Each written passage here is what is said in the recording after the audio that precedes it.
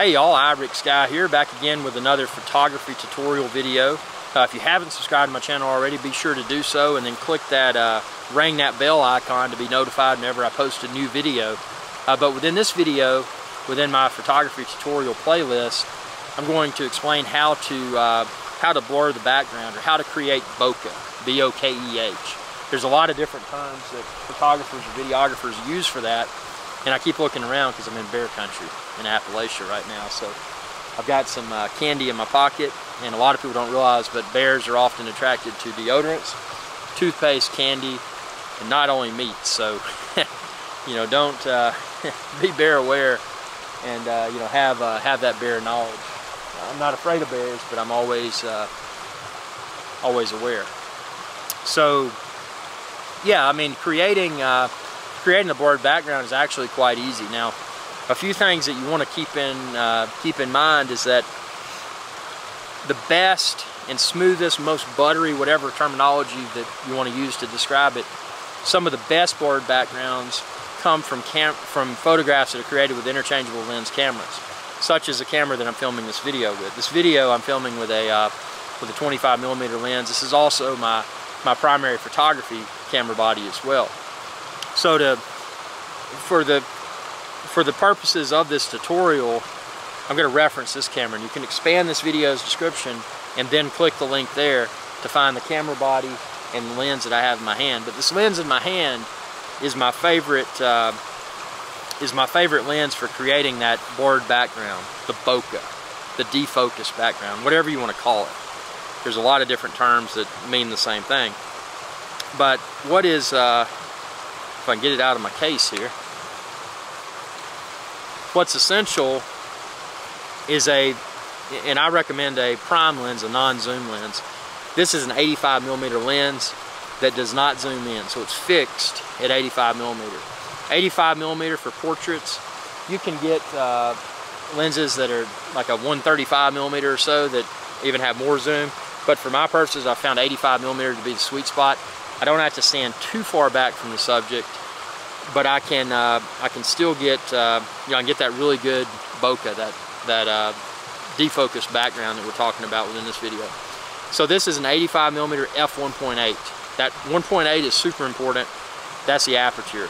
So when I'm going to maximize my background blur using this camera body, and, and again, you can find this 85 millimeter lens and the camera body. Just expand this video's description and you can click the links there. But what's uh, what's so cool about this is that when I put it down, when I put the camera down to 1.8 aperture and I snap that photo, the you know, and, and obviously I do the eye focus for the subject. When I do that, the background just seems to dissolve. It becomes very blurred. It creates what's called bokeh or whatever. So in its in its rawest form, that's how to do it. You know, if, if I put this lens on the camera if I set my aperture to f1.8 because that's that's shooting this lens wide open, and then I go and uh, photograph a subject, get you know get the subject perfectly focused, you know get as close to him as I can. I want to you want to try to fill the fill the frame because the closer you are, the the more the more uh, defocused that background's going to look. Because if I stand far away, if I've got a subject, you know, 150 feet away and I snap a photo of them, even though I'm using f1.8 aperture, it's not going to create that defocused background. Optimally, I'm probably five to 10 feet away. So, you know, you create that photo and then you'll notice the background's dissolved or defocused. Well, that's great. But how do I get those really cool looks? You know, you look through um, you look through the internet and you see these photos, these award-winning photos, this, that, and the other, and, and, they've got all kinds of like balls of light and, and all kinds of funky things in the background. It's like, what in the world is that? That's where it gets interesting. So what I suggest doing, experiment with different, uh, with different backgrounds. One of the common backgrounds uh, that creates a very visually pleasing uh, uh defocused background, for example, Christmas tree. Christmas tree with multicolored lights. Turn those lights on, put your subject directly in front of the Christmas tree, and take a photograph at f1.8 using a camera body and lens such as this. And look at that, because you'll be like, wow, you know, that doesn't even look like a Christmas tree in the background. It's just got really cool lights, you know, balls of lights. That's that's uh, that's the value of, of using, and, and all of this all of this goes into a uh, there's a term, it's called shallow depth of field. So when you're shooting wide open with an 85 millimeter lens such as this at f1.8, when you're shooting wide open, which means your, your aperture is 1.8, your depth of field, so you don't, a common misconception among uh, uh, novice photographers is that you're focusing upon something and you know you're focusing and it's it's staying focused on an object. The reality is is that focus is distance. So if I'm standing here and I don't move and my subject is five feet in front of me and they don't move and then I set my camera to f1.8 aperture when I've set my aperture of this lens or of the camera to 1.8 because this is an f1.8 lens I'm going to blur it as much as I can but the thing is, when you're at f1.8, the depth of field is not as big. So if that subject moved closer to me, or I move closer to them, or they move further back, or I move further back, if the distance between the subject and I fluctuates, then they're not going to be peak in peak focus anymore. And by using a shallow depth of field such as that, you know, if they just move a few inches, your photograph may not be perfectly focused. Whereas if you use let's say you're using the same lens, but instead of selecting f1.8 aperture, you selected an f8. Then the depth of field, and I'm, I'm just, this is just an example here, but let's say f1.8 depth of field was this much. Well, then you bump up to f8, maybe it's this big. So then that person could move a few feet forward or a few feet backwards, or the photographer could move, and they're still gonna be somewhat perfectly well focused. Now the trade-off in that scenario, since it was shot in f8, instead of f1.8 is that there's going to be less defocused background. So to really get that really buttery smooth defocused background, you know, that bokeh, that uh, blurred background, whatever term you want to use to describe it, to get that really professional photo, photo look, this is what you do.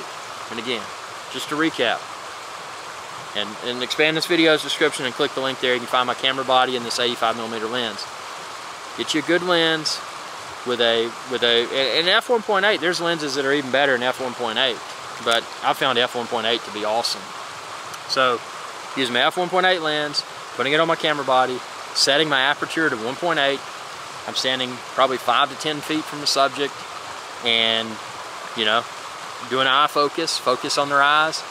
They're perfectly focused and then the background just dissolves around them. It's not rocket science. You know, a lot of uh, a lot of photographers would lead people to believe that it's that it's more complicated than it is. And we're going to address the more comp, more uh, more in-depth questions within other videos within my photography tutorial playlist. So subscribe to my channel, ring that bell icon, be notified whenever I post a new video. But uh, yeah, I'm going to post a lot of a lot more photography tutorials because it can it can be very basic.